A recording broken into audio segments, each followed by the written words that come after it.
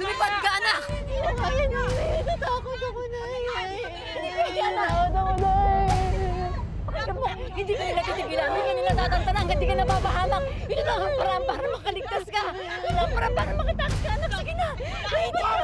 Nay, nay, paliyak pa ako. Nay, nay, hindi ko kaya. Gabriel! Tumayo ka sa kanila! Sige na, Alwina! Ito na yung oras na pinaghandaan natin! Hindi ko kaya.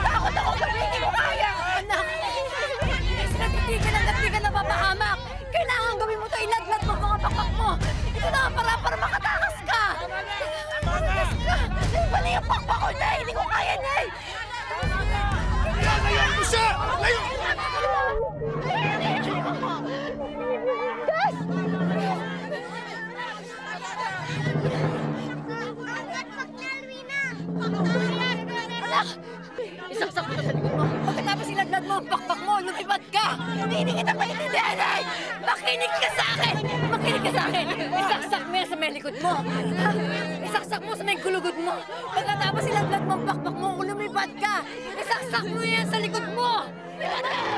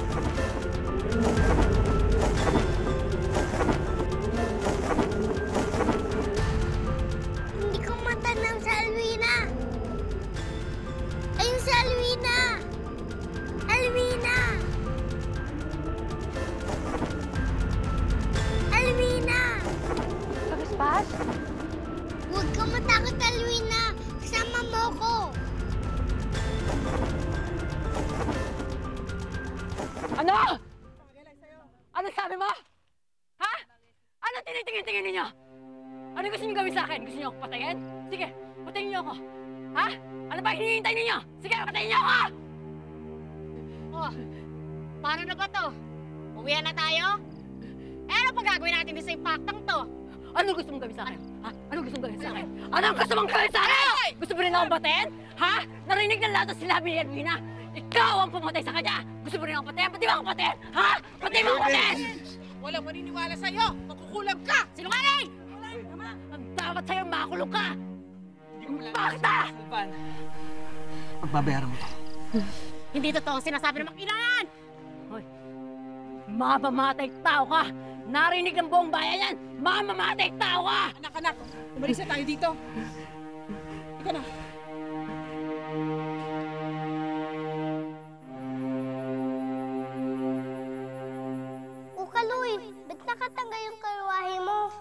Siguro papaliguan siya ni Nanay Lourdes. Hindi ko maintindihan ba't lagi natatanggal itong kariton sa'yo. Lagi ko hinihigitan ang pagkakatali nito.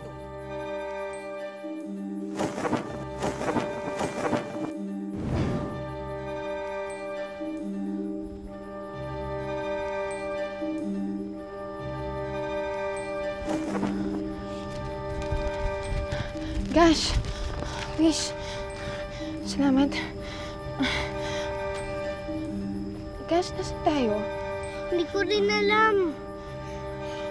Di pa ako nakakapunta dito. Totoo bang nangyari yung lahat? Totoo, Alwina. Teka lang, si ko sa Tierra Fuego. Pero wala na tayong magagawa ngayon.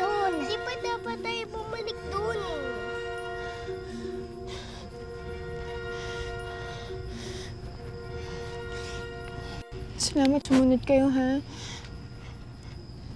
Hindi ko alam kung anong gagawin ko pag mag-isa lang ako.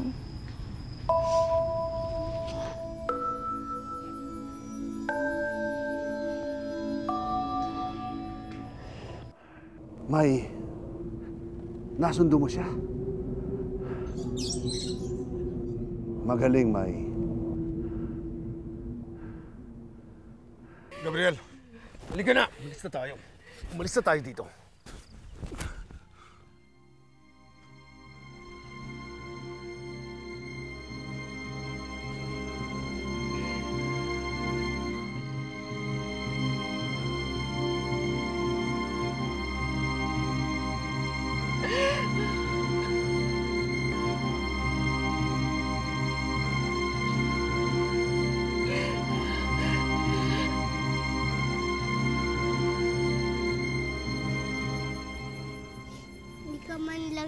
1,000, Alwina. Ang taas ng lipad mo. Okay. Ito pala yung pilit na pinauunawa sa akin ni Gabriel. Kaya pala niya ako pinag-aaral lumipad. Kung pwede ko lang sana siyang pasalamatan. Kung pwede ko lang sana balikan lahat ng mga mahal ko.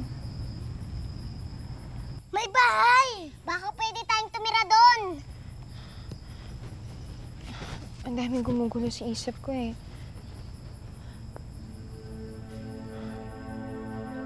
Di ba ang itsura niya, oo? Parang iba siya talaga eh. Sandali lang, ha? Ha, anak, ha? Tiisin mo lang, ha?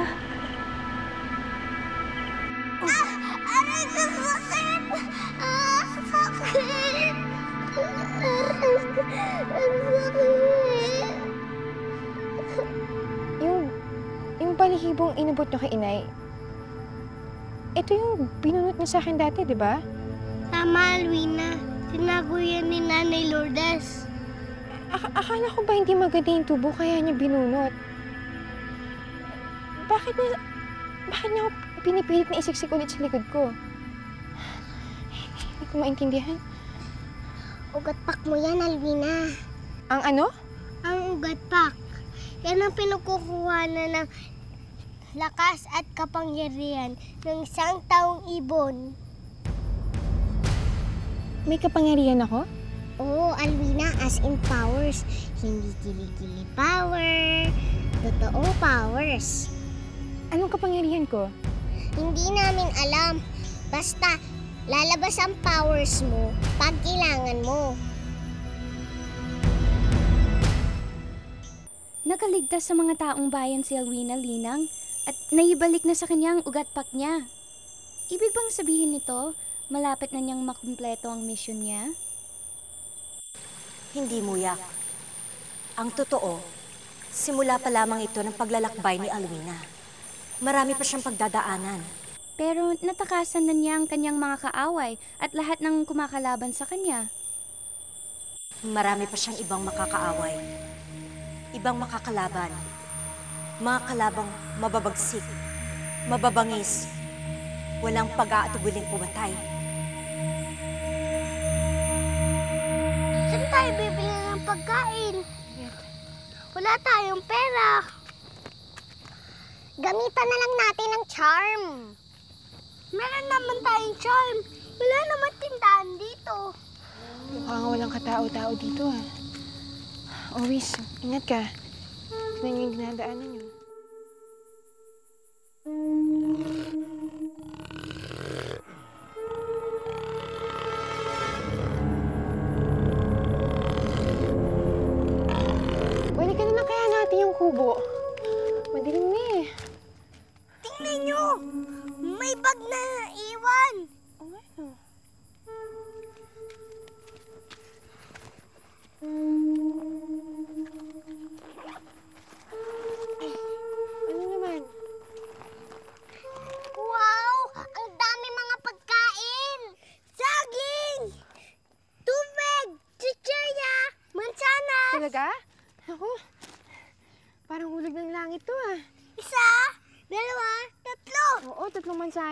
Oh, kasyang-kasya sa atin. Tag-isa-isa tayo sa mansanas. Narinig niyo ba yun?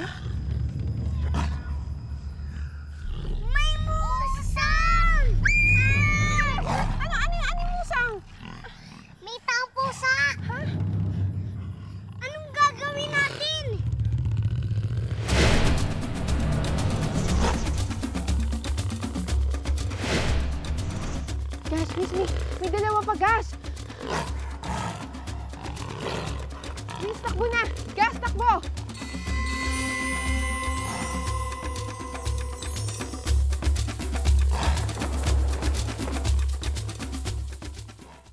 Ano ang pakay ninyo? Gusto ko sana humingi sa iyo ng pahintulot, Ravenum. Bakit hindi pa natin patayin si Dakila? Wala nang saysay ang buhay niya. Tayo na naghahari sa Avila. Hindi na natin siya kailangan. Kailangan nating malaman ang kinaroroonan ng puno ng mulawin. Hindi magsasalita si Dakila Ravenum. Daanin niyo sa taas. Pahirapan ninyo hanggat hindi nagsasalita. At kapag nalaman ninyo kung nasaan ang puno ng mulawin, saka niyo siya patayin.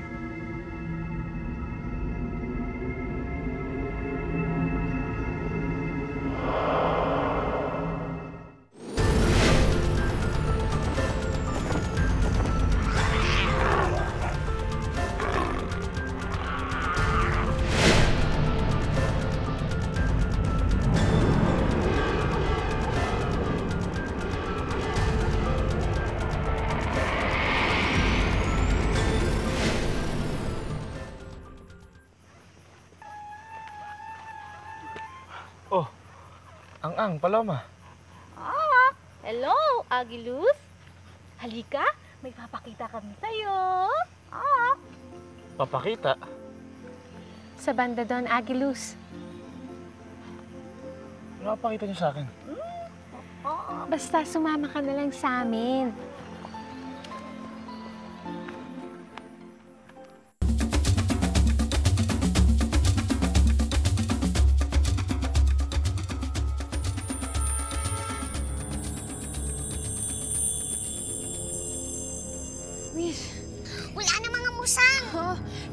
Sila. Grabe, nakakatakot ng mga musang. Totoo pala mga musang. Dati panakot lang sa akin ni Bagwis yun pag hindi ako natutulog ng tanghali. Totoo pala mga musang. Teka, Gus. Napansin mo ba? Bumibilis na ang takbo ni Alwina. Oo nga, nakakapanibago nga eh. Pakiramdam ko halos, halos hindi umaapak yung paa ko sa lupa. Bumalik na ang powers mo, Alwina.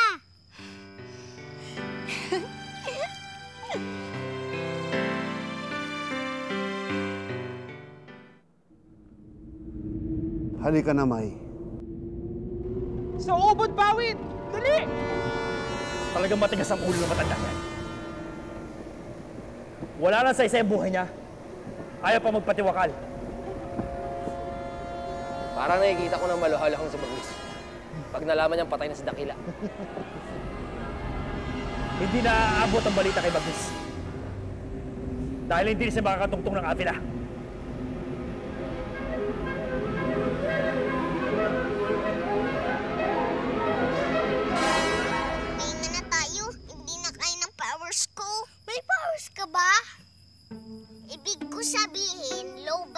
Ako. May baterya ka ba? Iwan ko sa'yo. Ang hirap mo kausapin. Rina, ba't ang tahimik mo? Pinakikiramdaman ko lang. Mahirap na baka nasundan tayo ng mga musang. Tama na, Alvina. Nakakawa yung pagka-nervyosa mo. Matutulog tayo kumukulang dyan. Di bale, oras na magliwanag, maghahanap tayo ng makakain natin. Tulog na tayo. Kailangan pa natin ng beauty rest.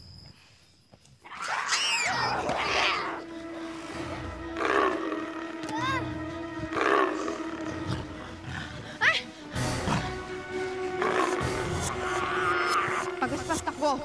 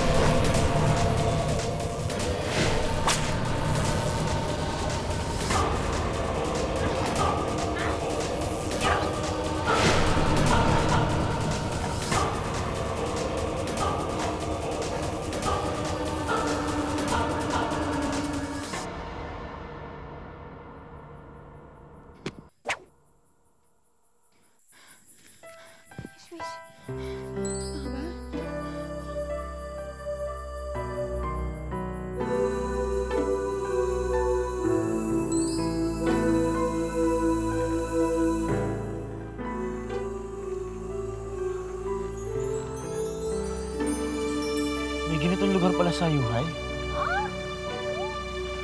Inayos lang to, Agilus, para sa special na okasyon. Special na okasyon.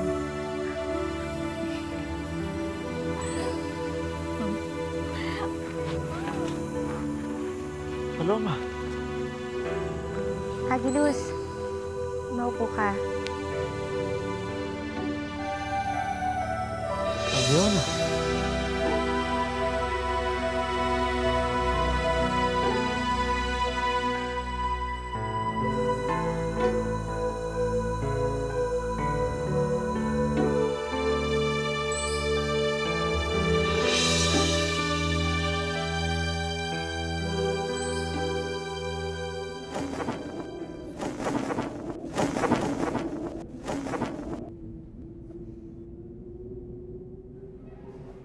Si Dakila. Mukhang magpapakamatay na matanda.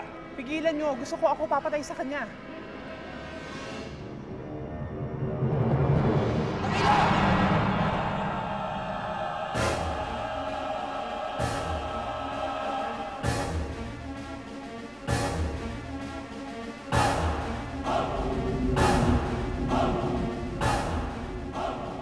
Tawagin lahat ng Avena. Papuntahin dito sa Avila. Gusto kong malaman kung sino may kagagawan kung bakit nakatakas sa matandang yan.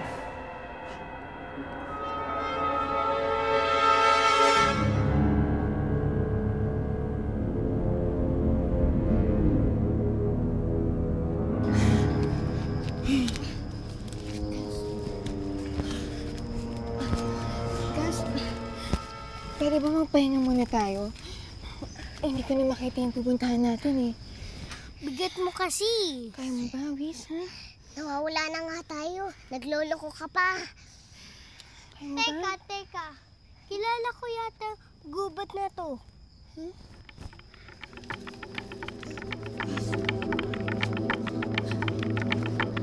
Sino kayo?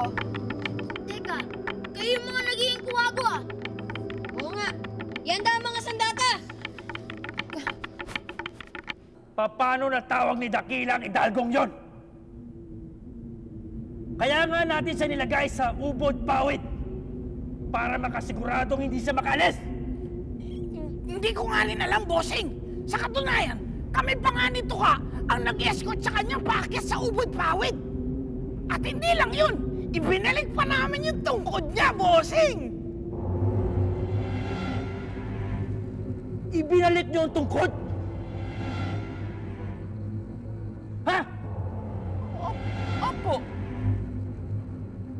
Di ba kabilin-bilin ako sa inyo na wag na wag niyo ibabalik ang tungkod ni Dakila?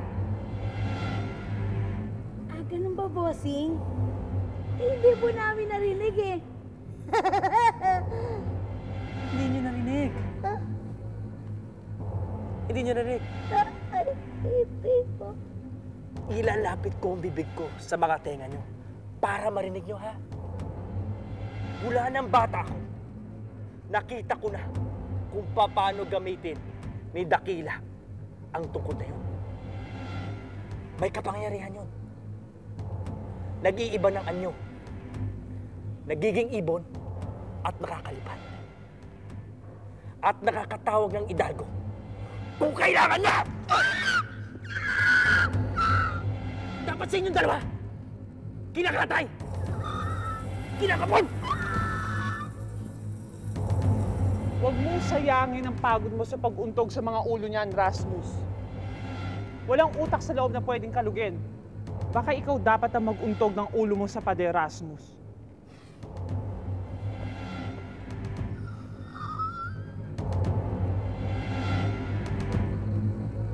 Mamili ka, kabagat. Burahin mo ang ngisi sa mukha mo o buburahin ko ang mukha mo.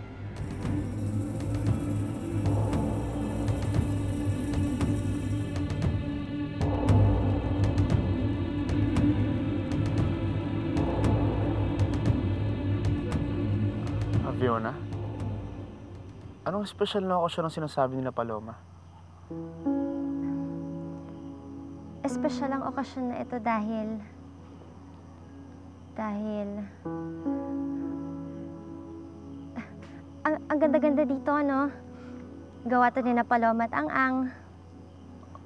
Oo nga, pero bakit nila to ginawa? Tapos, tignan mo yung mga kortina. Kung sang-sang retaso nila ginawa yan.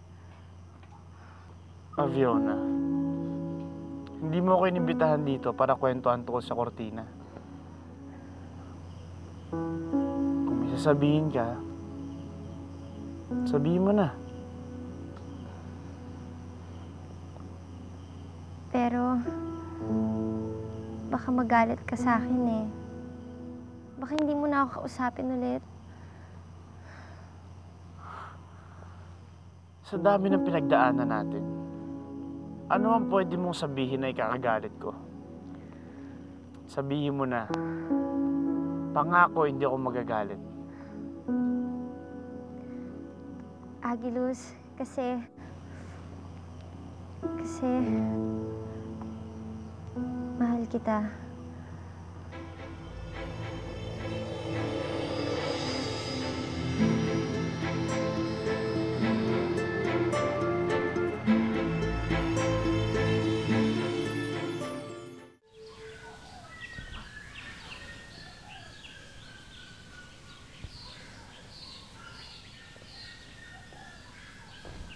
Agilus, huwag mong mamadaliin. Baka bumuka na naman ang sugat mo. Ito muna pagsanayan mo. Aviona, huwag sana mamasamain. Pero sa ngayon, gusto ko magsanay na mag-isa.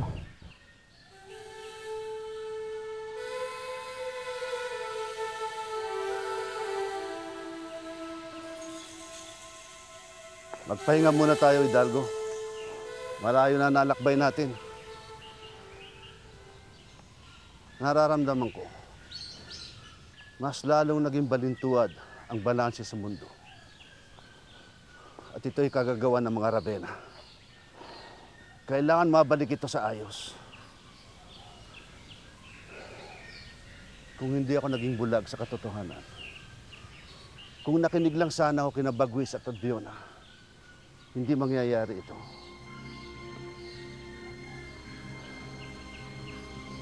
Ito na ba ang panahong itinakda? Kung kailang magtutuos ng lubusan ng puwersa ng kadiliman at kabutihan. Kung ito na nga. Ngayon, higit kailanman, kailangan ng tagapagligtas ng mga mulawi. Paano nakatakas si Dakila? Nakatawag ng Hidalgo para makababa sa ubod pawid. Nabigo ka na naman, Rasmus.